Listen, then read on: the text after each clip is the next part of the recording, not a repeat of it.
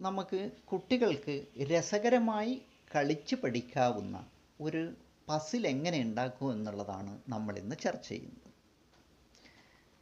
ഇത്തരത്തിലുള്ള യൂണിറ്റ് ക്യൂബുകൾ അതായത് ഒരു രണ്ട് സെന്റിമീറ്റർ വശങ്ങളുള്ള ക്യൂബുകൾ അത് നിർമ്മിച്ചെടുത്തതിന് ശേഷം അത്തരത്തിലുള്ള അഞ്ചെണ്ണം ചേർത്ത് ഒട്ടിച്ചെടുക്കുന്നതാണ് ഇത്തരത്തിലുള്ള പന്ത്രണ്ട് തരം വ്യത്യസ്തമായ രൂപങ്ങൾ. അപ്പോൾ ഈ പന്ത്രണ്ട് തരം ഒന്നും ആവർത്തിക്കുന്നില്ല. അതായത് പതിമൂന്നാമതൊരു രൂപം ഉണ്ടാവാനുമില്ല. നോക്ക് ഇവിടെ മൂന്ന് താഴെയും രണ്ട് മേലെയും ആയിട്ടാണ് ഉള്ളത് ഇതും അങ്ങനെ തന്നെയാണ്. മൂന്ന് താഴെയും രണ്ട് മേലെയാണെങ്കിലും ഇതുപോലുള്ള രൂപമല്ല ഇത്. രണ്ടും രണ്ട് വ്യത്യസ്ത രൂപം തന്നെയാണ്.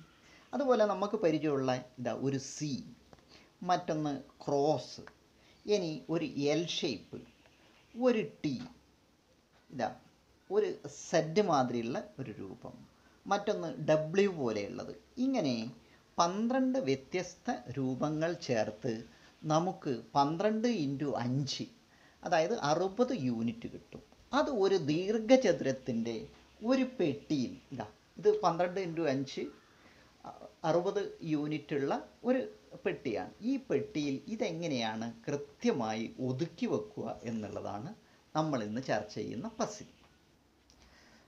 നമുക്ക് ഇതാ ഇത്തരത്തിലുള്ള കളർ പേപ്പറുകൾ. ഇത് ഞാൻ ഇപ്പോൾ എന്റെ കയ്യിലുള്ള പ്ലാസ്റ്റിക് ഷീറ്റാണ് ഉപയോഗിച്ചിരിക്കുന്നത്. പക്ഷേ നമുക്കിത് കല്യാണ കാർഡ് ആ കട്ടിയുള്ള ഇൻവിറ്റേഷൻ കാർഡോ കട്ടിയുള്ള കാർഡോ ജെ കെ കാർഡോ അത്തരത്തിലുള്ള കാർഡ് ഷീറ്റിലും ചെയ്യാവുന്നതാണ്.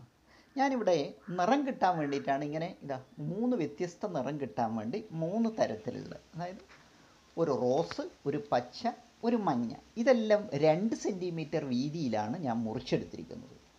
അപ്പോൾ പിന്നീട് ഞാൻ ഓരോന്നും ചേർത്ത് ഇതുപോലെ ഒട്ടിച്ചെടുക്കും. ഇതാ ആദ്യം രണ്ട് കളർ മാത്രം ചേർത്തിട്ടാണ് നമ്മൾ ഒട്ടിച്ചെടുക്കുന്നത്. പിന്നീട് ഇതാ ക്യൂബിന്റെ അടുത്ത ഘട്ടം ഇതാ.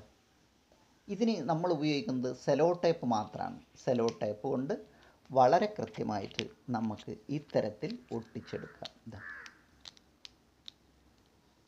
ഇവിടെ ഒരു വശം കഴിഞ്ഞ് ഇതാ രണ്ടാമതൊരു വശം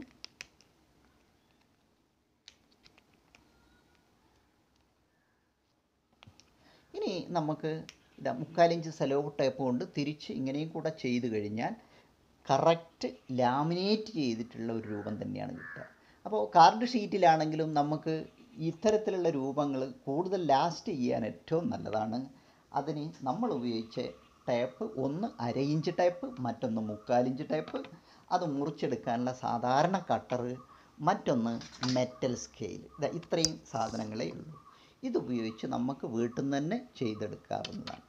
അപ്പോൾ അത്തരത്തിലുള്ള ക്യൂബുകൾ ചേർത്ത് അയ്യഞ്ചെണ്ണം വെച്ചതാണ് ഈ പസിൽ